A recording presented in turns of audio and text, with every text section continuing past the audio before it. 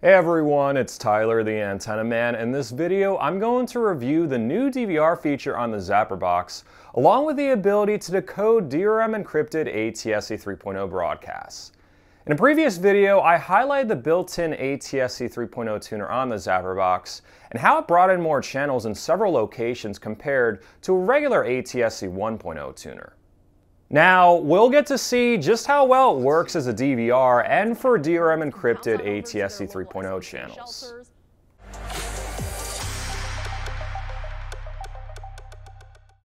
If you're a cord cutter or use an antenna, make sure to subscribe to my YouTube channel and hit the bell icon to receive a notification whenever I post a new video. While this video is sponsored by ZapperBox, the company received no editorial input or early preview of this video. They are seeing it for the first time, just like you. So ZapperBox has a ton of features, including a built-in ATSC 3.0 tuner, channel guide, signal meter, the ability to run a channel scan without deleting current channels, and channel scan on a specific RF channel. For those of you unfamiliar with the technical terms, ATSC 3.0 or Next Gen TV is a new over-the-air TV standard launching in the United States with features including better reception, better picture quality, and more. ATSC 1.0 is the current over-the-air TV standard used in every market on most TVs, and while it will be around for a long time, probably at least 10 years, some users may benefit from the better reception aspect of ATSC 3.0 if in a weak signal area. Recently, ZapperBox released a firmware update that enables DVR functionality with support for DRM encrypted ATSC 3.0 channels. ZapperBox offers a free basic and subscription tier for guide data service with the DVR. The free tier includes one day of channel guide data and will let you record the channel you're watching or schedule a recording based on the channel and time, but you can't schedule an upcoming recording from the channel guide. The subscription tier includes a 14-day channel guide, the ability to schedule recordings within the channel guide, and a search feature. All ZapperBox units come with a 30-day free trial of the subscription tier, which is what I'll be demonstrating in this video.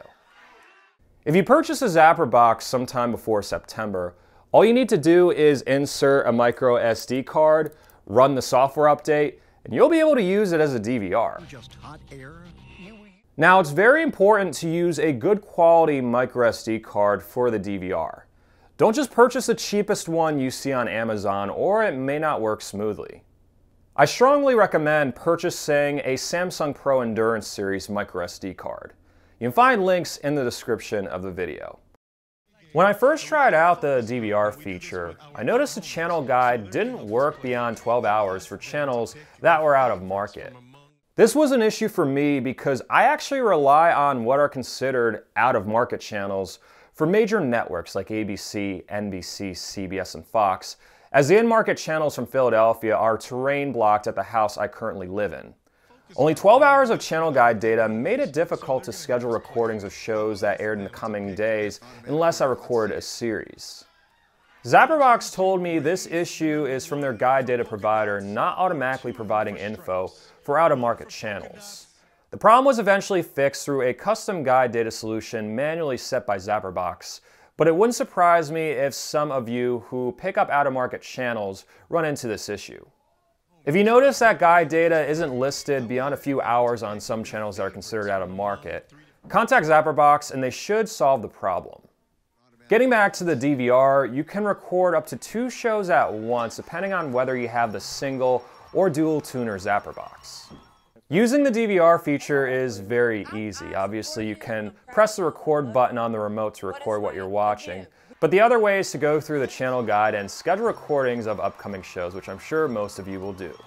It gives you the option to record just one program or all upcoming episodes, and even advanced options like starting the recording early or ending it late. Perfect for live sporting events. You can use the search feature to look for upcoming programs, which is very helpful if you're not sure when and where a certain program airs, such as a live sporting event. Recordings can be accessed by pressing the DVR button on the remote.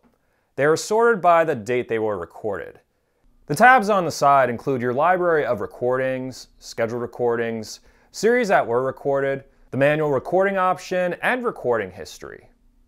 I did notice that the recordings start about 30 seconds prior to the airtime, which is actually a good thing. When fast forwarding, there aren't any thumbnails to see what you're passing through, which may result in a bit of trial and error to skip to a certain part of a show or past commercials.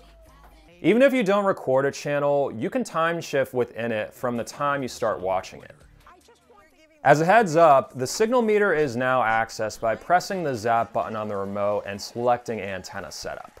This is very helpful to fine tune antenna to get the best reception possible. Now, I'm going to get into the latest ZapperBox update that enables DRM encrypted channels on ATSC 3.0 to decode.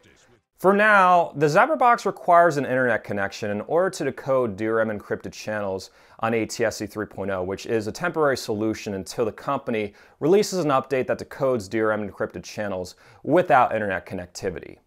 To be clear, my frustration in recent videos about DRM encryption is towards the broadcasting industry as a whole, and not at specific manufacturers like ZapperBox. I truly appreciate the effort this company has made to get their unit DRM certified so people who were previously locked out of accessing local channels can now watch them. Unlike other ATSC 3.0 tuners on the market, the ZapperBox had no issues at all decoding DRM encrypted channels in my area. Here's a video capture in real time showing it decoding every single TV station in the Philadelphia market that has DRM encryption turned on. I will say that it does take a few seconds for each channel to load up, but that's more of an issue with the TV standard and not the ZapperBox itself.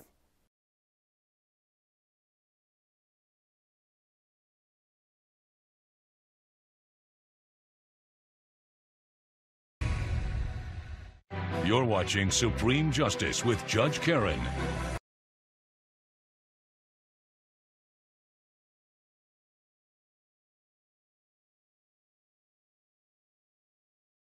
Tratarse, los síntomas pueden volverse más severos. USA Vein Clinics. Thanks to the ATSC 3.0 broadcast signal, I was able to gain the ABC affiliate, WPVI, which can't be picked up in ATSC 1.0 with the current antenna I have set up.